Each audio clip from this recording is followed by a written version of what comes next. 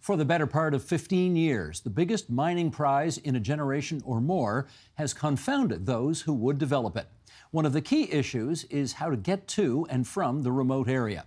That problem got closer to a solution when the province recently announced agreement on the terms of reference for a First Nations led plan for a permanent road to the Ring of Fire. With us now on the significance of this deal, let's welcome geoscientist Kristan Straub. CEO of Ring of Fire Metals. That's a Canadian mining subsidiary of Australia's Wyloo Metals. He's also a member of Henvey Inlet First Nation. Virginia Heffernan is here, principal of GeoPen Communications, whose new book is Ring of Fire High Stakes Mining in a Lowlands Wilderness. And Stan Sudol, communication consultant, mining strategist who runs the website The Republic of Mining. And it's great to have you three here with us at TVO tonight for a subject that we have returned to numerous times as the yardsticks have got moved down the field ever so slowly, eh, Stan? Yes. Ever so slowly. Very so. Okay, let's start with a map of the proposed road. Sheldon, if you wouldn't mind, let's bring this up, and I'll, for those listening on podcast, we'll just describe a little bit of what we are seeing. There is in red, up at the top, the very rich mineral deposit discovered in 2007, none of it mined yet. We see where the proposed road is, and then the communities of Martin Falls and Webequie are in agreement about the assessment for the road, Neskantaga not. Also, the communities of Attawapiskat and Fort Albany on the shores of James Bay in the region, not. The Ring of Fire, incidentally, more than 500 kilometers north of Thunder Bay. It's up there. Now, let's talk about the possibility of that road. Uh, Kristan, start us off. When would you like to see this road completed, within reason, so that the Ring of Fire Metals, your company, can start the mining process? Well, Steve, I think that's a great question because uh, you know for Ring of Fire Metals, the Eagle's Nest operation is contingent upon this road, of course. Uh, Eagle's Nest. Eagle's is... Nest is the deposit. So the red area that you outlined for the Ring of Fire is what appears to be a claim map for the claims, the mineral claims that are held by Ring of Fire Metals in that area. And on one of those claims is where the Eagle's Nest uh, nickel copper PGE deposit is located. And that's the deposit that we're looking to um, conduct the environmental assessment on, go through permitting, and ultimately build construction through. And that would require the road. So, as, as, you may be well aware, in the last few weeks, the government has announced that they have reached a, an agreement with the proponents for the environmental assessment, which are Webequie and uh, Martin Falls, yep. for one particular section of the roads. So, we're obviously, in terms of timelines, talking multiple, multiple years here. That's correct. But in terms of a shovel in the ground to actually build the road, when do you think that could happen? That's not going to happen until the environmental assessments are complete and the permitting aspects are complete through that. And the proponents, being the First Nations, are, are really in the driver's seat for the time that, that that will take and the consultation process that that'll go through. Gotcha. Virginia, talk to us about the road building, uh, geologically speaking, because uh, we probably need to know more about the kind of land this road would be built on and whether it's conducive actually to having a road built on it. What do you think? well, James Bay lowlands is as as you know, is very swampy. Mm-hmm. Um, so you need to find a little high ground to build the road on. Um, and it just so happens that the glaciers, when they moved off 10,000 years ago, left behind a ridge of gravel and sand uh, that would be considered the high ground. And so I think it's got to go through the environmental process first, the environmental assessment process, and they're still trying to figure out the route but I think that that esker will be, uh, prob it's probably the most practical way to, to, to, build the road. So bottom line, this north-south route mm -hmm. is doable in your view? Yes, I believe so. You believe so? That's not the, you know, the most strong endorsement I've ever heard on this program. I'm not a, I'm not a geotechnical engineer, so. But you believe so? I believe so. Okay. How much closer do you think the developments of the past several weeks, Stan, have uh, taken us to having this thing actually become reality? Uh, it's it's a slow walk, but but you have to remember that, um, as, as Virginia said, the Eskers are a great place to to build the road, and and we have to remember historically. Uh, on the peatlands themselves, in the 1930s, we built a railroad to Moosonee and we built a railroad to Churchill, Manitoba, mm-hmm. uh, and it had no discernible effects uh, on the entire Hudson Bay lowlands. So actually having that esker is a real gift from the geological gods, if you want to look at it, because you've got a higher ground. uh, the vast majority of the route will be on the esker, so the impact on the peatlands is going to be very low. And what little sections of peatlands that the road has to go through, uh, the way they construct the road is just going to be directly with some kind of a, a high-tech padding, so the impact on the peatlands is going to be minimized to the uh, to a very high degree. So the concerns of environmentalists about uh, detrimental impact to the entire um, uh, peatlands is well, well overblown. I, I must confess, esker is a new word to me that I've just learned. This naturally occurring ridge. How do you spell it? Uh, I guess it's E S K E R. Is that Yes, right? that's Right. correct. Esker. Okay, Thank good. well, we like to be the nation's education station, so there we go. Um, okay, what the world needs now is nickel. Uh, let's go back to that map again, Sheldon, if we can. And we have marked the deposit. Uh, in mining circles, they've called it the Eagle's Nest, as we heard. Now, geologically speaking, that nickel vein, you want to tell us where that is exactly on this map here? Kristan, you want to tell us? So on the map, you have uh, the identification where Eagle's Nest is. That's sort of in the central area of the Ring of Fire. And the Eagle's Nest deposit is a nickel copper PG sulfide based deposit. It's it's not unlike a nickel copper sulfide based deposit that you'd find in Sudbury. It's composed of massive sulfide, uh, which is very high grade in, in terms of the, the amount of nickel in it. And then there are greater amounts of uh, to a lesser degree of sulfide minerals that are in the host rocks, which we would also look to mine at that point in time. And then through that, through our mining activities, we would then process it in a conventional uh, mill through a flotation circuit and produce a concentrate. How far away would the mill be?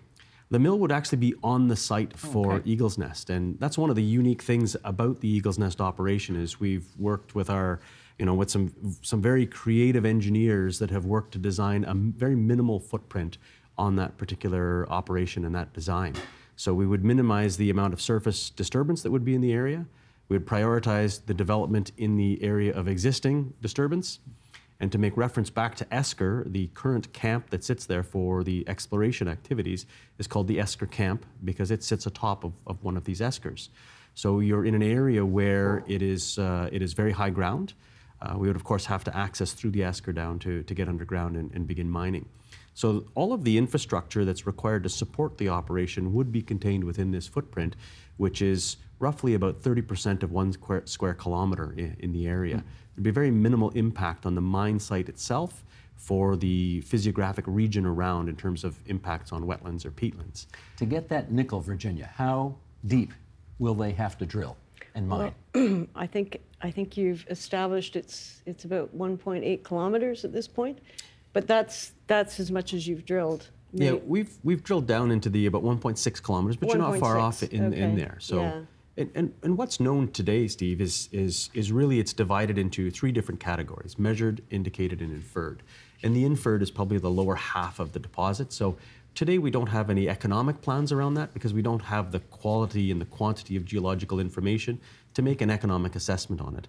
But in the upper half, we do have the quantity and the quality of geological information to be able to make that decision. So, and, and that's really what the basis of the last feasibility study was completed in 2012.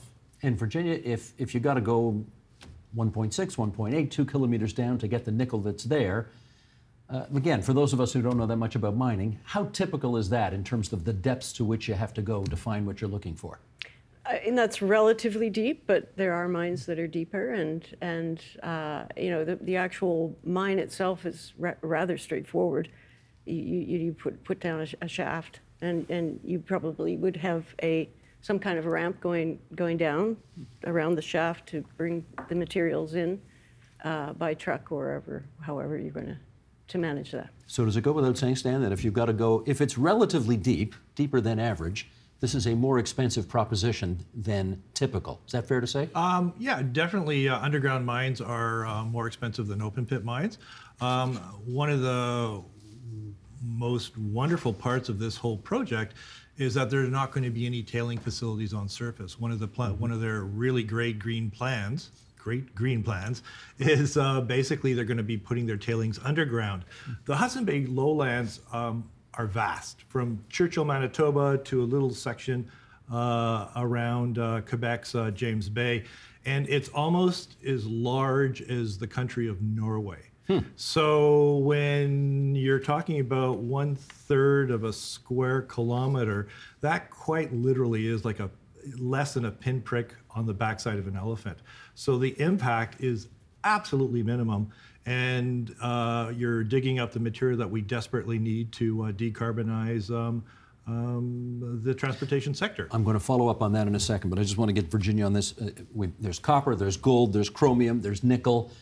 Are you making the argument that the nickel is what should be gone after first, and if so, why? Well, that just makes sense. I mean, it's it's the most uh, drilled off deposit. Um, so there's been exploration going on there since 2007.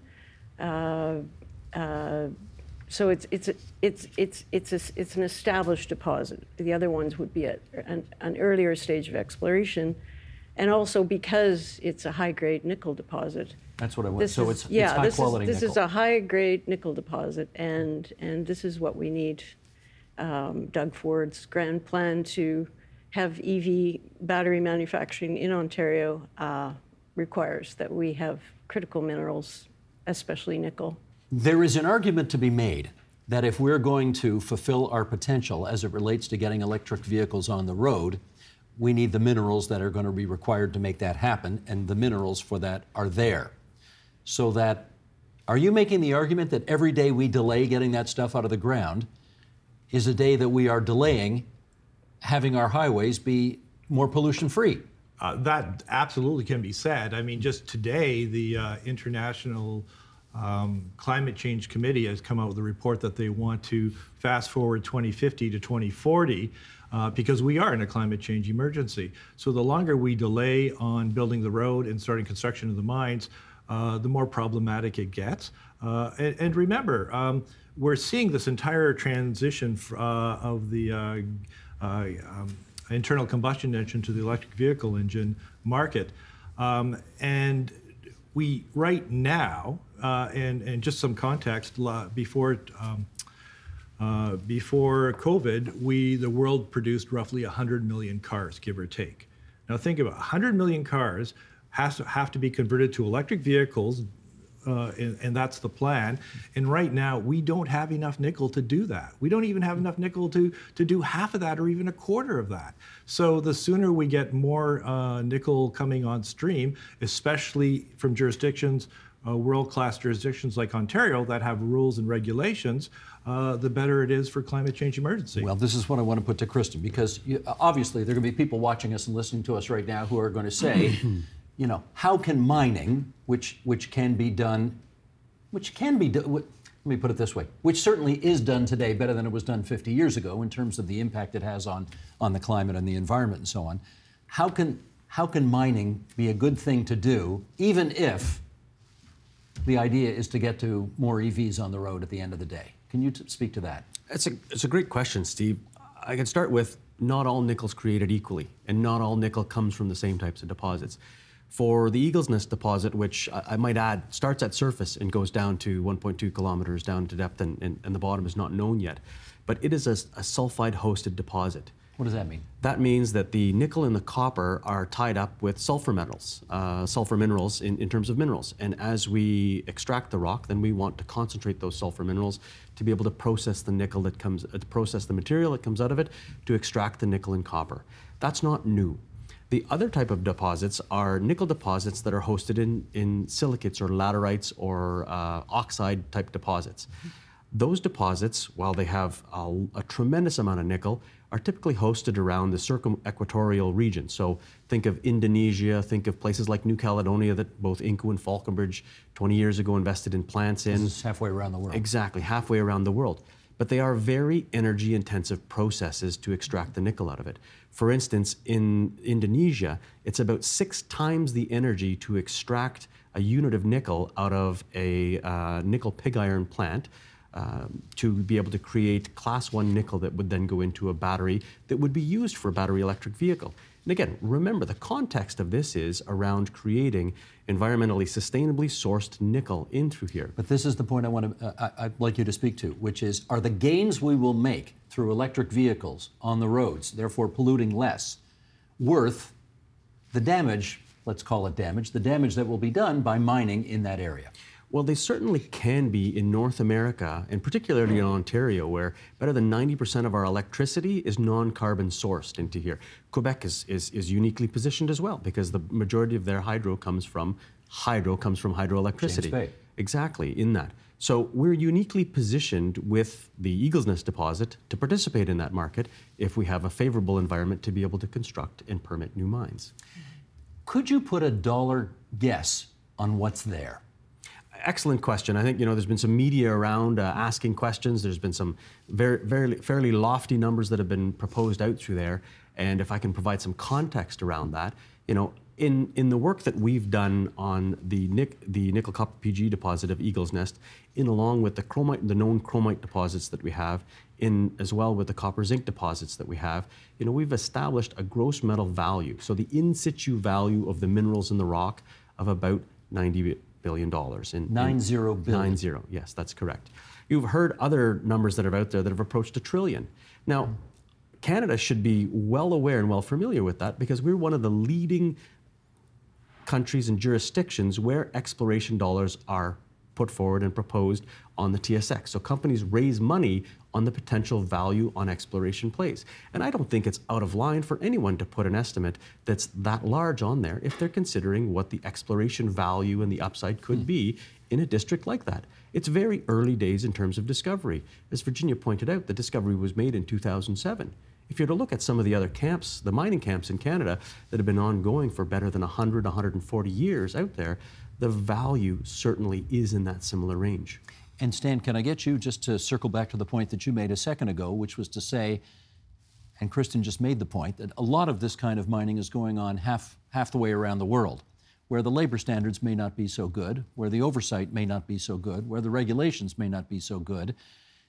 Would you make an ethical argument that it's better that it happens here? Oh, absolutely.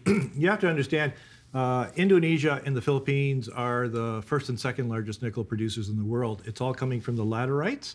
Uh, it, they're open pit mines and they're located in biodiverse, rich tropical rainforests.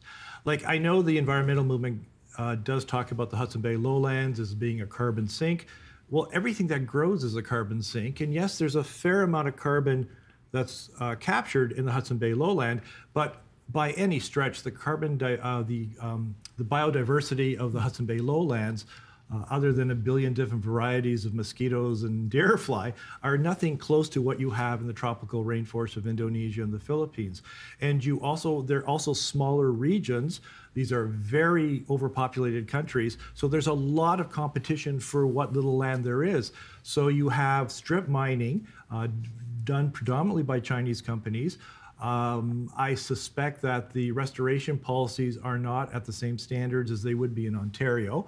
Uh, on top of it, um, using coal-fired power, so your carbon uh, rates are going through the roof, while Ontario uh, electricity is much cleaner. How about labor standards? Uh, absolutely. Uh, again, rule of law in both these countries would not be the same as it would be here in Ontario.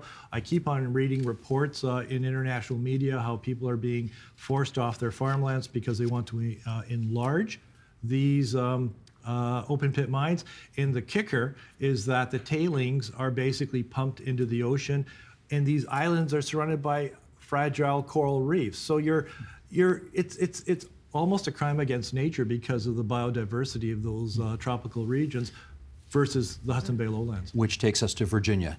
Are you satisfied that the mining can be done in the Ring of Fire in a way that respects the environment and is as environmentally sensitive as possible? Yes, I, I, I want to pick up, pick up on something that both Stan and Kristan said.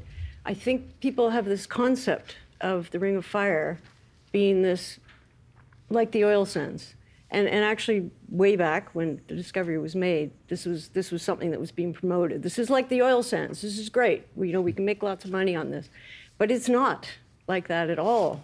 Uh, as Kristan pointed out, it's, it's this, this Eagle's Nest deposit that we're talking about uh, that starts at surface. It's quite narrow. It goes straight down, um, and the footprint is is minimal. Um, it, there can be no comparison to the oil sands. We're not talking about open pits here.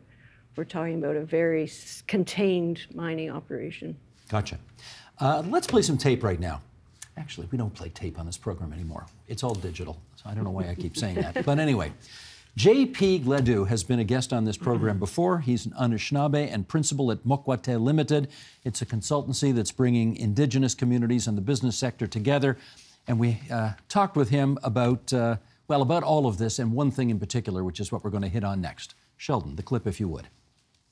We're not a monolith. Our communities have different socioeconomic backgrounds and aspirations, and we don't all get along all the time. We're just like any culture. We'll have the 20% for, 20% against, and the and the percentage in the middle that are, are trying to figure out which side they they sit on. I mean, we're you, typically what's happening these days is uh, um, we're required for 100% consensus a couple of familiar faces, I think, uh, here today in that discussion as well. Look, he's talking about the fact that there seems to be a requirement to get 100% consensus. Uh, and as you heard him say at the end, it's unreasonable to expect a standard of 100% consensus of all the First Nations in the area to be on board for this.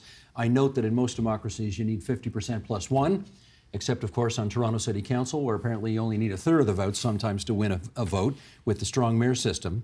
To what extent, Kristan, to you first, to what extent is the 100% requirement unreasonable in your view? I think it's a it's an absolutely unreasonable expectation to have anybody at 100%. Uh, you know, there's, there's there's always a contrarian voice that will be out there, and when I say always, that that's an almost an abs that is an absolute at that point in time. But it's very easy to find someone that would take a contrarian approach.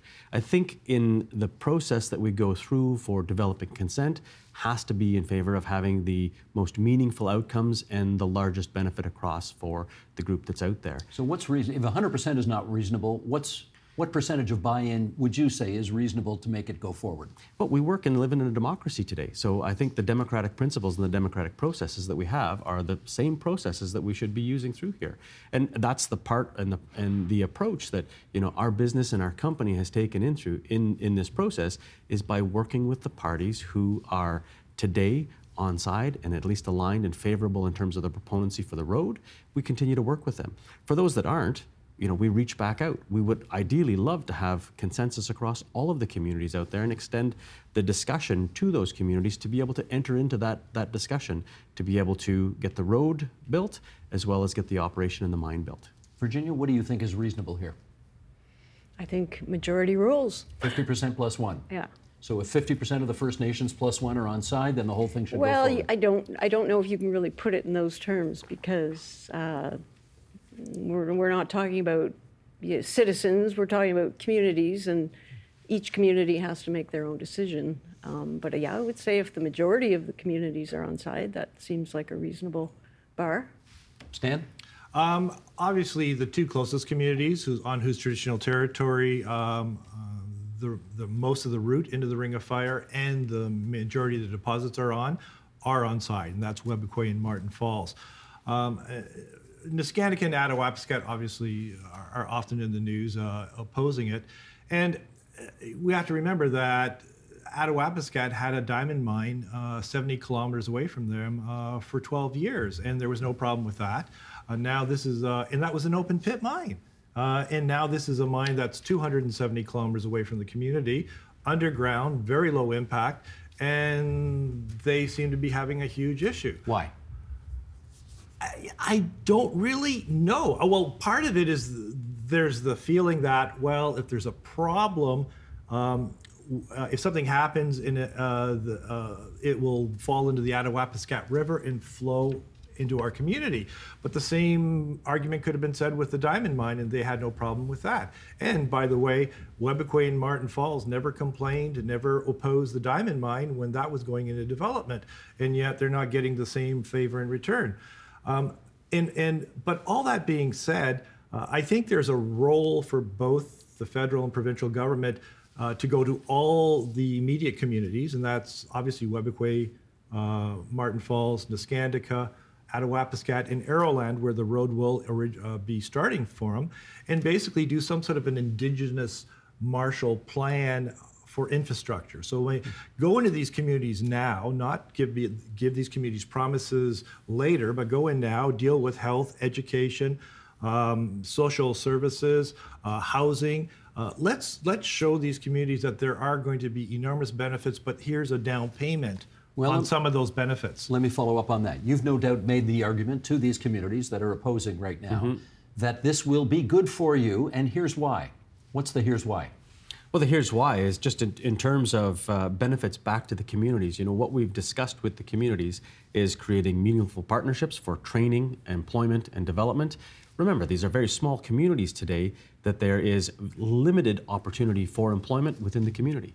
Most community members have to leave.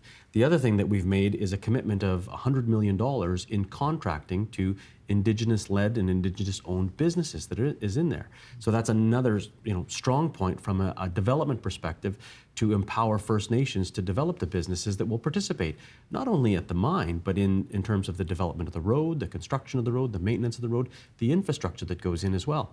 And that's not something that's just simply restricted to only the first two communities that are immediately adjacent to us, Webequie and Martin Falls. That's the communities within the region that we're looking to establish that with. Do you think they are holding out simply for a better financial package? A good question. Um, you know, those who are engaged in the process today are actually engaged in part of that discussion. Now, we have memorandums of understanding with uh, both Martin Falls and Webequie, that- which we most recently signed uh, last year, but the other communities believe that they're outstanding today in terms of in terms of the engagement. Just looking to understand how is it that we participate, what does it look like, and how do we enable that? Because they're faced with a balance today, as Stan pointed out, in terms of the, the challenges that they face from a federal and a provincial. And we've heard those comments back in the news and in the media of saying, you know, we're not going to create this development here today because we have a whole bunch of other things to to answer to, be it water quality, be it education, be it housing. Like there is a tremendous amount of pressures that are on communities. Hmm. I But guess the I'm one trying thing to figure out how, how firm their no is. Is there is there no an absolute firm no, and there's nothing you can say to turn them around? Or if you maybe sweeten the package a bit, could you get them to yes? I think that's a great question, and you'd have to ask them how firm their no is. But through our interactions, we believe that through co- the consultative process, that we can ultimately reach an agreement with the First Nations for the development. Okay, Virginia, I want you to look into your crystal ball because there's a section of the book that we referenced that uh, off the top that you wrote where you describe what the future could look like if we get this right, both financially, economically, environmentally, etc. Paint the picture. What does it look Right. like? Okay, well, economically, I think we can provide a lot of jobs um, up in the north, which has always been a, an issue. Um, uh, Indigenous-led businesses, uh, catering, trucking, you name it, could be providing the services to these mines. Um, I think that revenue sharing is important. I, I think that's a model that we haven't really looked at, but um, if we want these communities to to to to to to, to share in the prosperity and be able to support uh, schools and healthcare and uh, good housing, uh, this this is important that they have revenue coming into their communities, um, and and and also self governance. Uh, this is something that has has not been discussed, but it's happening in other parts of Canada, and and it would certainly help those communities if they if they were able to make their own decisions about how their future looks. Can I follow up with you on the issue of your company being a Canadian subsidiary of an Australian company? What do the Aussies know about this uh, that you think would be useful uh, for the particular circumstances we find ourselves in now? Certainly, that's a great question. If you if you look at the structure of, of, of ownership around uh, Ring of Fire Metals, ultimately that ownership leads up to uh, a gentleman and his family, a gentleman by the name of Dr. Andrew Forrest and his family. Now, Do- Dr. Forrest created Fortescue Minerals Group, which is the world's fourth largest iron ore producer today. Uh, and in the development and the, the implementation for production on those iron ore mines, Dr. Fortescue committed to making meaningful partnership with Indigenous or Aboriginal groups in Australia, creating Aboriginal businesses, and made some pledges out of that. Now, what we see today is that with Fortescue Metals Group, they are the second largest Indigenous employer in Australia, second only to the government agencies in through there. Dr. Forrest had made a commitment, what was called a billion dollar commitment at the time, to the commitment for uh, Indigenous owned and operated businesses. That has now exceeded and is now beyond $4 billion in terms of r- revenues and monies that have been put into and, and given back and participants of the indigenous owned business in actual in the actual mining operations themselves. And I guess I'm also interested in why you haven't been scared off this project when other companies, Noront, Cliffs, have basically, uh, you know, they tried to get in, then they left, uh, figuring uh, there's no hope. This is never going to happen. Yes, uh, it's a great question. It, it is definitely one of the world's most prospective nickel copper PG deposits that, that's out there today. And I think that, and I know that that's the attractive part to this deposit. It's going to be a challenging process to get through because it's not just about building a mine through here, it's about meeting the environmental and social governance aspects to it. It's about meeting the level and the hurdles that are established for consensus with the population and consent with the population that's, that's in the region. It's about developing and participating in that future economy in a decarbonized environment. And we're in a unique position today with the forecast growth for nickel that Canada can play an excellent position and play uh, a role that's very important to that in terms of the regionalization of supply chains into North America. So we would mine and extract nickel in this environment with some of the greenest energy that's produced. We would then integrate that into a battery electric vehicle market that is North American based and the production of vehicles in North America. You know, we're, we're striving to produce the greenest nickel in Canada with this project. I'm going to tell a little tale out of school here, Stan, in our last minute, which is when I, before we started rolling here, and I was uh, showing you the intro where we say, for the better part of 15 years, the biggest mining prize in the generation, yada, yada, yada. And you said under your breath, we better not be here 15 years from now still talking about this. And my question is, do you think we might be? No, I don't. I think this is an extraordinary opportunity. The Ring of Fire, I've, I've often said, and, and, and, this is where the trillion dollar figure uh, gets bandied around, is basically Sudbury Basin 2.0. And after 140 years of mining in the Sudbury Basin, the trillion dollar figure is fairly apt.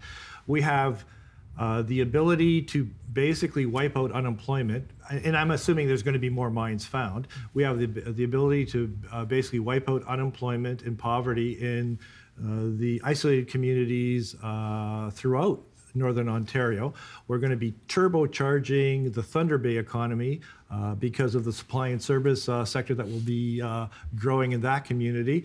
And the kicker is, and, and, and the Premier rightly uh, does use the Ring of Fire as a lure to get that next generation of uh, electric vehicle uh, production in Southern Ontario. That is the second uh, largest industrial sector in Canada after the oil industry. And it is absolutely critical that Ontario and Canada uh, ensure they get their fair share of electric vehicle uh, manufacturing. Well, just to be safe, uh, go into your calendar and mark off the year 2038, and we'll reconvene here at this table and see how much progress we've made, okay? Okay, absolutely. Okay, that's a deal. That's Stan Sudol. He is the communications consultant, mining strategist. You can read his stuff on the Republic of Mining website. And on the other side of the table, Kristan Straub. Newly minted CEO, Ring of Fire Metals, the subsidiary of Wyloo. He's also a geoscientist. And Virginia Heffernan, author, Ring of Fire, High Stakes Mining in a Lowlands Wilderness. She's the principal at GeoPen Communications. And we're grateful to the three of you for joining us here at TVO tonight. Thank, Thank you. you. Thank you very much. Thank you. Yep. The Agenda with Steve Paikin is made possible through generous philanthropic contributions from viewers like you. Thank you for supporting TVO's journalism.